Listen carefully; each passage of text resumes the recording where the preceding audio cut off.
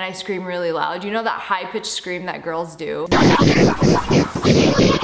I can't believe I'm actually saying this, but Sniper Wolf is back. You guys remember Sniper Wolf, the massive YouTuber that steals a bunch of content, gives no credit to the original creators, and then says stuff like, wow, that's crazy as her transformative commentary. And if that wasn't bad enough, when an OG YouTuber named JacksFilms criticized her for her lazy reaction content, she got so angry at him that she doxed him on her Instagram to her millions of followers. This dude is running sideways. If you want to support the original creators of the TikToks, uh, too bad, because the only links you'll find in the description are all Sniper Wolf. Okay, so in response to this, she then showed up to his actual house in person. And uh, let me just say, if you show up to someone's house over an internet beef, you are completely flipping unhinged and absolutely deserve to be banned from the platform. Sniper Wolf then did this absolutely pathetic chat GPT ass apology here. Completely lying, by the way, because her real opinion was actually shown when she was laughing about the situation after it happened and even after after all the backlash. Even in this apology, she's kind of memeing. I deserve it, respect the decision, and appreciate the opportunity to learn and grow from a true lapse in judgment. Wow, where have I heard that one before? That's a known meme on YouTube because that's the same apology Logan Paul actually used after filming a dead body in a forest. I've made a severe and continuous lapse in my judgment. And she's memeing that, okay? She knows what she's doing. There's no shot she didn't know that. Now, after this, YouTube pretty much was forced to respond to the situation after weeks of backlash. And despite Sniper Wolf being the golden girl of YouTube, and YouTube specifically promoting her multiple times, they had to take some sort of action here because everybody was talking about it and the heat was on. So they gave her the ultimate slap on the wrist. They temporarily demonetized her channel. And even then, while doing that, they showed that they are still on Sniper Wolf's side because they said this, hoping that everybody helps move this convo to a better place. Basically saying, hey guys, we heard you screaming about this a lot. Please shut up. We don't actually care that Sniper Wolf literally showed up to a YouTuber's house and put his life in danger by doxing him to millions of fans. Essentially, they set the precedent that you can dox people and get away with a slap on the wrist. Now, after this, a couple more things happened. Sniper Wolf immediately tried to circumvent the ban by posting on a second channel and having that monetized, and then people pointed that out as well, and YouTube went in and demonetized the other channel as well. Now, this was all fine and dandy until a month ago when the temporary part of the equation just ran out, and she is back on YouTube, posting like nothing ever happened, fully monetized, making millions of dollars once again. And at this point, I gotta say, YouTube, you gotta get your shit together, man. Why are you actually kidding me? I'm just saying, like, if a man showed up to a woman's house over internet beef and doxed her house to millions of people, there is no shot in the world this would be the equivalent punishment. Dude we'd be ran off the internet so fast, it's not even funny. This is some crazy double standards, and this is not beef. This is, she actually committed a real life crime. So can we treat her like a criminal instead of a six year old that stole candy from the candy jar? Anyways, moving on from this, Nerd City has just released an hour long video going into yet another Sniper Wolf scandal. Some details have come out about how Sniper Wolf apparently assaulted another YouTuber named Azzyland. Now, if you remember the lore, a while back, Azzyland was basically the new and improved upcoming Sniper Wolf. And Sniper Wolf, of course, being a crazy, narcissistic sociopath, did not like that at all. She got super, super jealous of her, copied her every move, her inflections, her videos, even like the things she she copied a plant she point, pointed to in a video. Absolutely crazy shit. So we'll just go over some of the important parts of this, but check out Nerd City for the full thing. At a major gaming event, Sniper Wolf assaulted a woman who wasn't even looking in her direction. If you've been around esports or YouTube drama for a while, you might remember this event because this was a big breakout moment for Ninja.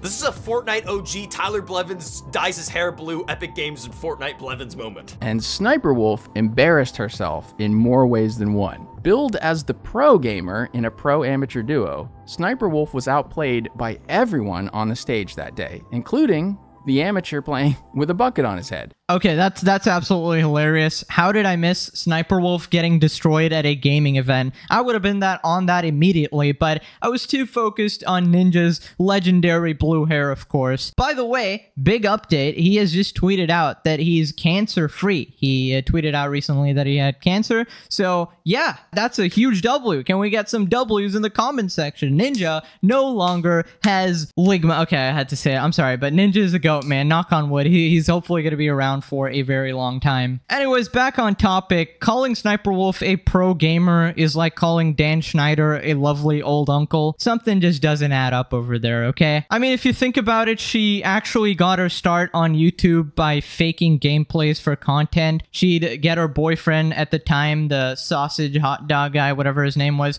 to play all the games, and then she would just pretend to play them and commentate over it. And even then, the guy was writing all the scripts, so she didn't even make up the words or anything. She just sat there and read what was on screen, kind of like what she's doing right now. She doesn't even react to the videos. Someone else writes the scripts for her and then uh, she reads it out. Listen, I don't know a single pro gamer who would fake their own gameplay un- unless it's like cheating or some situation where you're hiding some hacks. So I- I'm not surprised she lost. She's a phony. All said and done, her team finished tied for dead last with zero points.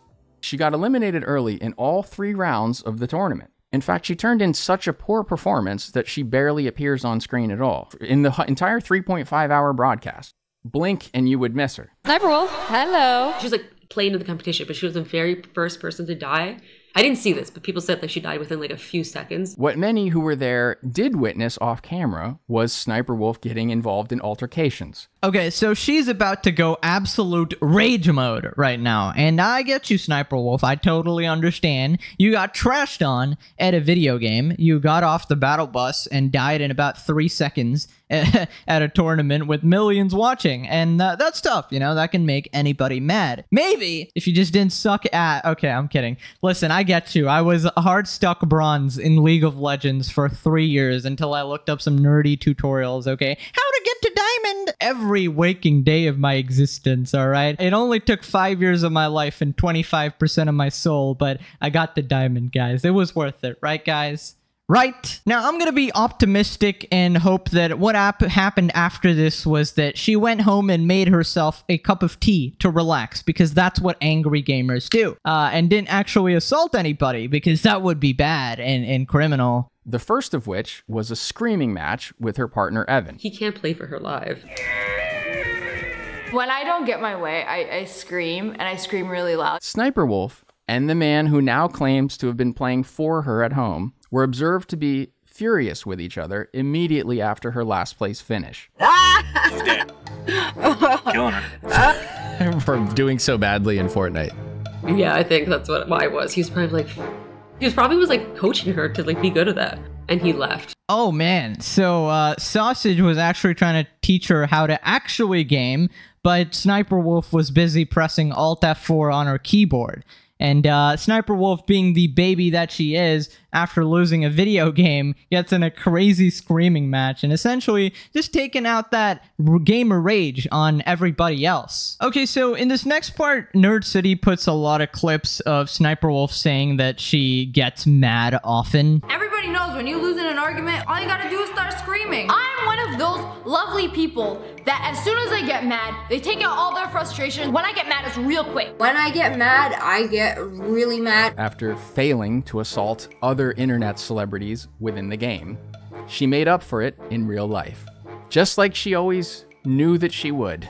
I never had time to practice or go to events and compete. And not to mention, I am a very bad sport. If I lose, like, I'll go ape shit or cry or attack people. I'll literally attack people. I get really, really competitive. Okay, so I'm a little bit confused here. I can't tell if it's actually a lot of clips out of context here, or if Sniper Wolf is actually just a nut job who openly admits that she goes crazy and literally assaults people when she loses at video games. I think it's a mix of both, honestly. She might be uh, being sarcastic in that first clip, for example, uh, probably reacting to one of those videos. And the other one, uh, I don't know, giving her maximum benefit of the doubt. She's exaggerating and telling a story for entertainment. But also, this is Sniper Wolf, so she could actually just be nuts We've seen that she will do anything because of her anger issues and show up at people's houses. So let's not count anything out here. Now, uh, after this, Nerd City explains how Sniper Wolf is this major narcissist, right? And all of her actions are a result of her narcissistic anger response because, you know, she was proved as being inferior in a video game and that's why she's lashing out. Personally, I just call this ballistic gamer rage, but uh, I, I guess narcissistic works too. They thrive on winning. In fact, I'm not sure there is anything more important to a narcissist than winning. So when they fail at something, you need to brace yourself because you are likely going to see some behaviors you never dreamed you would see exhibited by a full grown adult. She played poorly and then attacked people. Narcissistic rage is an explosive combination of hostility and anger that comes about when a narcissist has their sense of self threatened. Essentially, the narcissist is having to face their own inferiority, which is something they are not able to do narcissistic people are very reactive. Ah! How could you? Um, okay, listen, uh, I'm all for shitting on Sniper Wolf here, okay? But using an Agar.io clip of her getting mad as an example for narcissism is kind of crazy, let's be honest. Uh, pretty much any YouTube Let's Player has screamed at one of these video games. I'm pretty sure every person has screamed at a video game before, so I'm gonna say some of these clips are a little out of context. Uh, editors on crack over here, but uh, I get the point he's making. Okay, just the B-roll is kind of crazy over here. All right. Anyways, this next part, uh, Azzyland describes the assault in a little bit more detail. Apparently, there were like six witnesses or something, but that's not really made public, so I'm not gonna comment on that. Okay, so basically, uh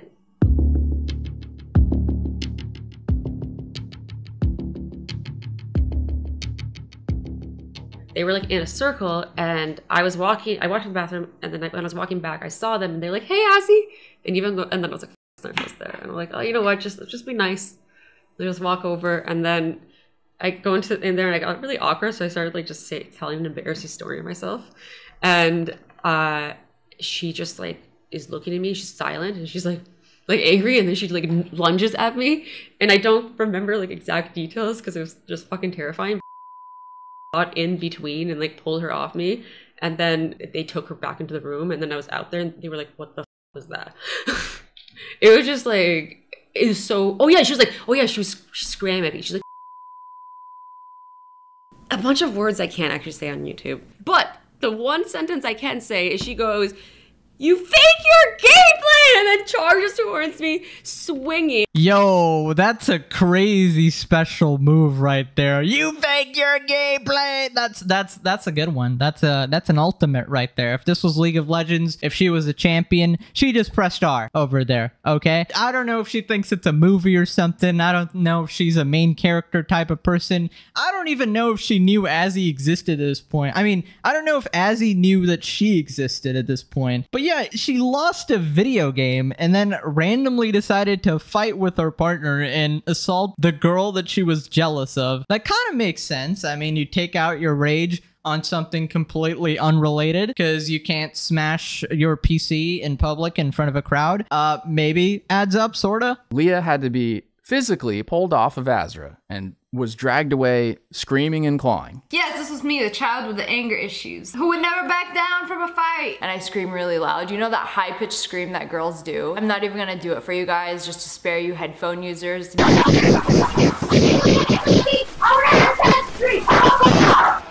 like I hate you, like I hate you. Why do you scream so much, especially when you can't win a level in a game? Do you have anger issues? Maybe I do have anger issues. Do you have a problem with that? Do you? I can't help my anger. Whenever I get mad at a game, I get really mad and I can't help it. Um, okay, so these clips are pretty old, right? Uh, and I always thought that Let's Players just sort of did the anger thing because it's entertaining, right? It's like when you play the impossible game on Flash or whatever, right? And it's like you keep dying over and over again. You play Getting Over It by was it Bennett Foddy or something, and then you keep falling down, you play only up and you fall down, yes, everybody's gonna rage because you put a lot of effort into it and then you know you, you go all the way back. And uh, you know, if you get really into the game, it's good content. Okay, it's good good content. People love to watch it. It's really entertaining. Now, is she a part of that crowd or does she genuinely have uh, deep underlying issues? I'm not. I don't know. I don't know her personally or whatever. But maybe she was exposing herself all this time because if you're gonna make jokes about this, it's got to be pretty obvious that you're not uh, actually the thing you're talking about, you know? So if you make jokes like, hey guys, I'm crazy, I'm really freaking crazy, I'm actually insane, then you better not actually be crazy because then that's that's a quick one plus one type of situation where it adds up real quick, you know? It's like when Dan Schneider made Nickelodeon the uh, logo a foot and plastered like foot shit everywhere. You can make those jokes if you're not actually a creep, you know, like turned on by feet, okay? Now, after this, uh, Nerd City talks about the whole uh, copying situation between them where Sniper Wolf would try to become Azzyland, essentially. We saw how Sniper Wolf was copying elements from Azzyland that had already proven to be popular. A piece of wood used to mix paint for 50 years. Used to mix paint for 50 years. Imagine how cool this would be. Like people like were a little more creative though, and they were like, pink, blue, yellow, purple. I mean, it would have been cooler if y'all used like brighter colors or something. It's the same kind of kind of content. She's just a liar though. She's stealing everything and has been for a very long time. The easiest examples to find by simply looking at the dates and comparing them are the hundreds of thumbnails and titles that Sniper Wolf used after Azzyland. It is astounding to see how many videos Sniper Wolf has legitimately either titled the same exact way as Azzyland or has just taken the same exact picture that Azzyland has used in her thumbnail. Okay, so I, I said this last time as well, but I would say that probably yes, Sniper Wolf is copying everything because you know, she doesn't have any proof of her thumbnails being original at all. But just in general for you guys, the, the dates of the video are not enough to be 100% sure because you can change thumbnails of all videos too. So I can change uh, a video I uploaded three years ago and change it to the newest PewDiePie thumbnail. And then it's like he copied me from three years ago, you know, but no, I just changed it in the future. So provided Azzyland isn't uh, submitting any false evidence here or whatever, then yeah, Sniper Wolf is definitely crazy for this. And one more thing that definitely sort of confirms that she's been copying the stuff is that the video content can't be changed in the past. So I can't go to a video three years ago and change the content in the video, of course.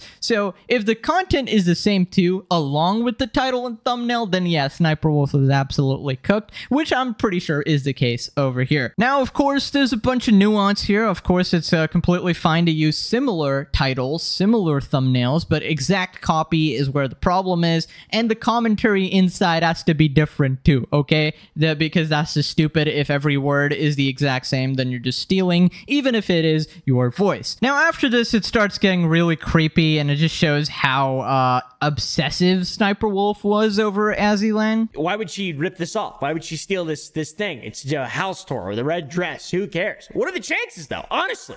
It seems so intentional. She seems like she's gaslighting her audience into hating Azzyland. Bro, what? They have the same mirror? They both did a house tour in the same outfit? This looks like the same exact dress, dude. Like this really weird example where Azzyland is talking about plants in her home, basically saying that, you know, she doesn't really take care of them. They end up being killed and dying. But then Sniper Wolf goes on to say that they're luscious, well taken care of plants. Uh, more plants that I'm killing. A luscious, well taken care of plant. And try to make it better, almost like out of spite. That is one of the pettiest things I've ever heard ever. Like imagine you're copying somebody's entire persona and the only one thing you change there is, hey, my plant is a little bit better than your plant. It's actually well watered and well taken care of. Meanwhile, your plant, yeah, it, it, it's not well looked after. Therefore, I am better than you. That is just plain creepy, okay? Sniper Wolf's obsession with Azzyland needs to be studied, uh, okay, under a microscope over here. This is a this is a unique case of crazy, and I don't understand why you would ever copy a house tour wearing the same dress and shit. I think copying such minute details like the inflection of her voice and literally uh, down to the plant